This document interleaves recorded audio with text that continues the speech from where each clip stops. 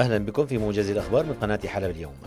موقع خبرلر التركي يؤكد وفاة أربعة أطفال سوريين جراء حريق اندلع في قبو مبنى مكون من أربعة طوابق في منطقة أسنيورت بولاية إسطنبول التركية. وكالة سبوتنيك الروسية تقول إن قاعدة القوات الأمريكية في منطقة حقل العمر النفطي بريف دير الزور شرقي سوريا تعرضت أمس الاثنين لقصف صاروخي. خروج 200 شخص من أهالي مدينة منبج القاطنين في مخيم الهول شرقي الحسكة ضمن قافلة متجهة إلى مناطقهم بريف حلب. تجمع أحرار حوران يقول إن اشتباكات اندلعت ليلا في محيط اللواء 52 ميكا شرقي مدينة الحراك بريف درعا تزامنا مع قصف المدينة بقذائف الدبابات والهاون من قبل قوات النظام. وخلال لقائه المبعوث الأممي إلى سوريا الرئيس اللبناني ميشيل عون يطالب المجتمع الدولي بتحمل مسؤولياته في تسهيل عودة النازحين السوريين إلى بلادهم.